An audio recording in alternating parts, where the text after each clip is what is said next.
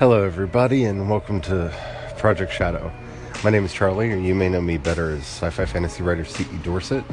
And uh, I'd like to say I'm sorry about yesterday's podcast.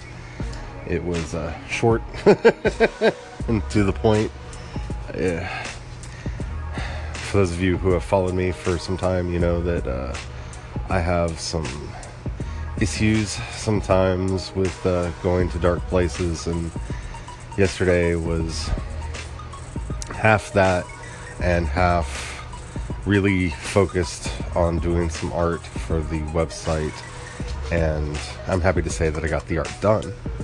It's not up yet because there's a story thing that I want to write to go with it and I'm working on that right now.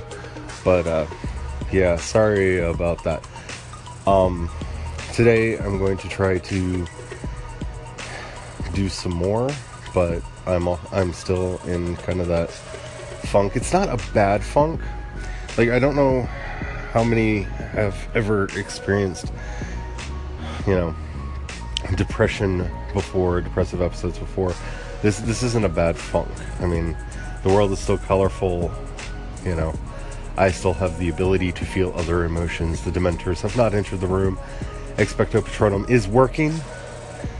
Oddly enough, today my Patronum is brought to you by Andrew Eldritch from the Sisters of Mercy, which is a very strange place to go to. But hey, if it works, do it.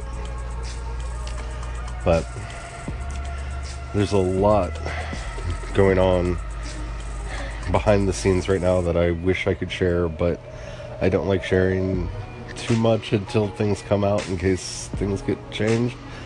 Um, but yeah. So sorry about yesterday's episode, and hopefully today will be a lot better because I actually have a few things that I want to talk about, and they're not all happy, but they're things that need saying. So today we got the news that Chester from Linkin Park is dead of an apparent suicide, and I am not dealing the best with that. Um, I'm, you know, just to be straight up honest, you know, I've never been the biggest Linkin Park fan. Like, I really, really liked Hybrid Theory. I really liked Meteora, and not really because of the music or anything. I just kind of lost track with them after that, and unfortunately, my only experience with the band was really some. Uh, pop ups that they made in music, or when a friend was like, You really have to hear this song. And, you know, uh, it's not that I was a huge, huge fan, but he. This is one of those things where somebody else's death makes you very selfish. And I hate that. I really, really hate that when that happens. Um, he was 41 and I will be 41 in November. And that fact, more than anything, has really stuck out to me in the story because I've, as I said in a previous segment, and if you followed me for any period of time, you know, I've struggled with depression for years. And seeing someone my age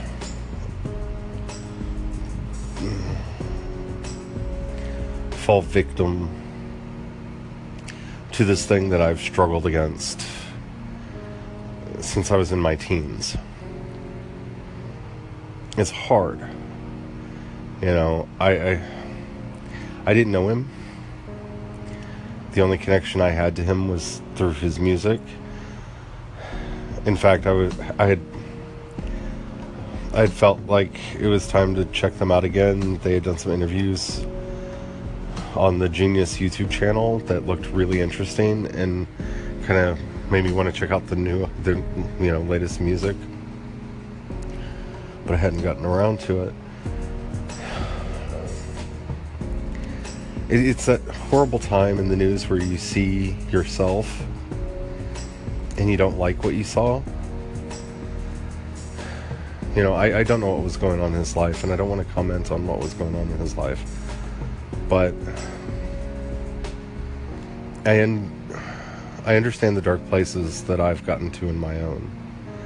And a friend of mine on Facebook said that there was some th- thoughts that this had to do with Chris Cornell because they were close friends and this was his birthday. And Chris Cornell's death hit me really hard like this too because sometimes it's hard to hold on but the struggle is worth it. The struggle matters.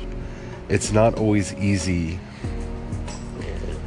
and i'm not judging him or anything or chris cornell or anyone who falls victim to that demon that haunts your mind sometimes. But the struggle is important. You know, I have so many friends that I would not have had if I had fallen victim earlier in life. I've had so many experiences, so many wonderful, wondrous experiences that I would not have had if I had fallen victim earlier in life. And for me, that's what you have to do to keep yourself going is focus on the impermanence of all things. Sorrow passes. The dark times pass. The bad feelings pass. They do the good times pass. Everything comes and goes. But that's the beauty and the wonder of life. That is the very thing that keeps me going, even when I don't know how to keep going. And I wish so much that Chester would have been able to find that. R.I.P. Chester. You'll be missed.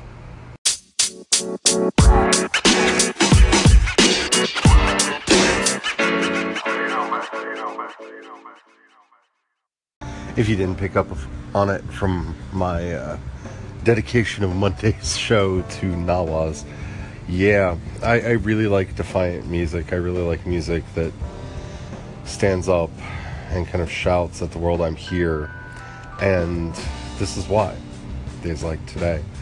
And so, for some reason, what feels right today is to put on some Sisters of Mercy and just rock out to it.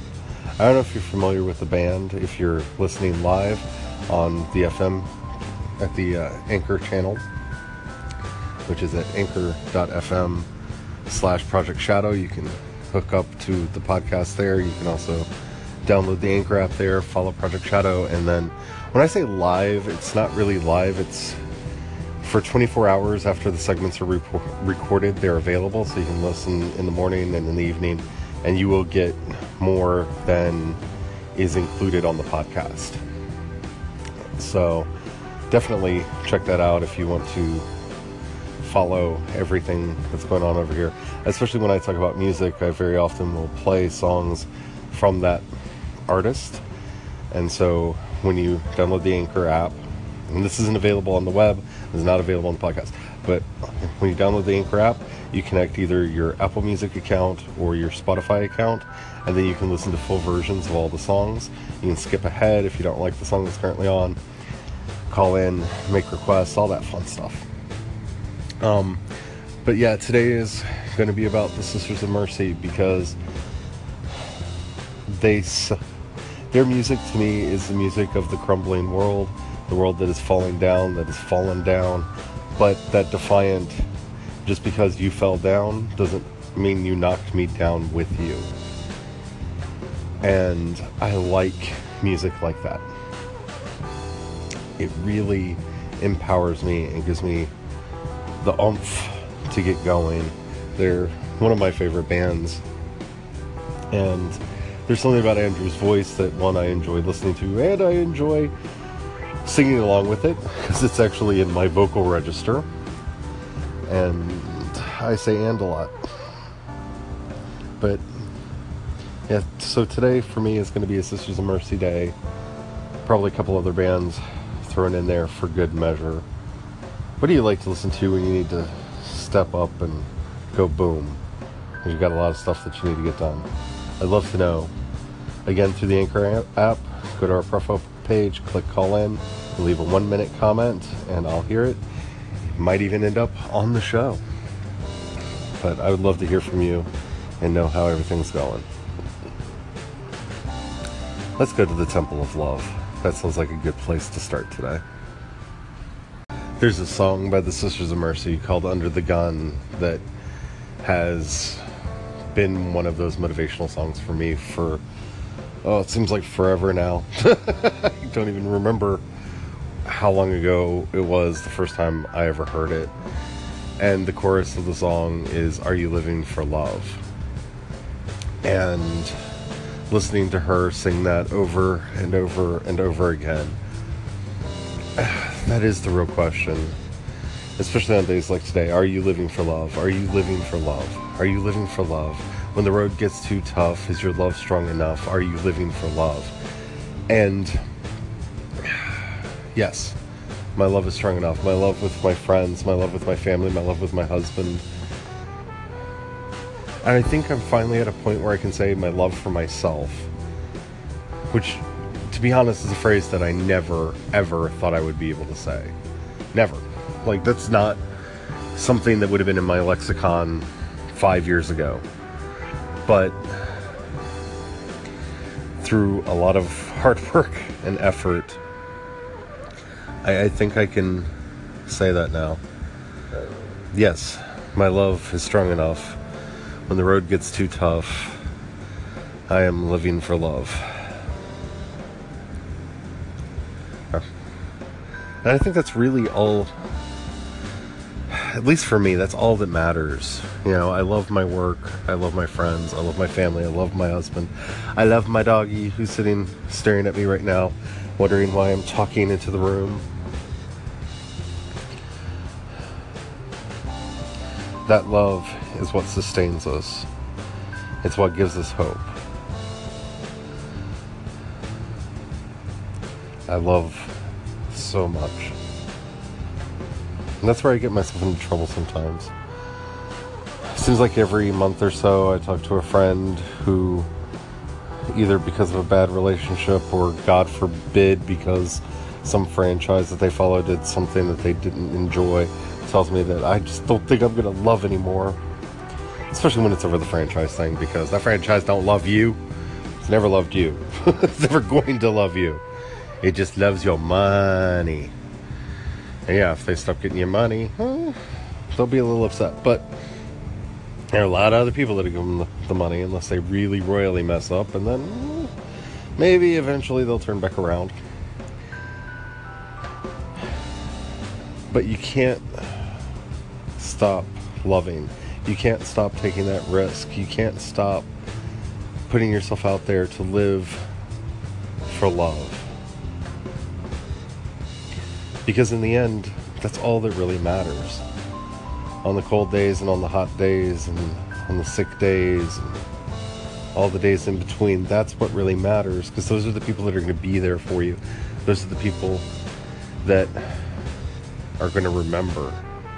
Those are the people that are going to carry you on when you can't keep walking. And those are the people you're going to carry when they can't keep walking. And that's really this for me at least the secret and the key to everything is finding those things those people. And yes sasha those animals that you can love. And loving them with all of your heart with all of your being. And yes sometimes they will disappoint you sometimes they will break your heart sometimes they will abuse that trust and break it. But it's better to have that momentary broken heart than the permanently empty one.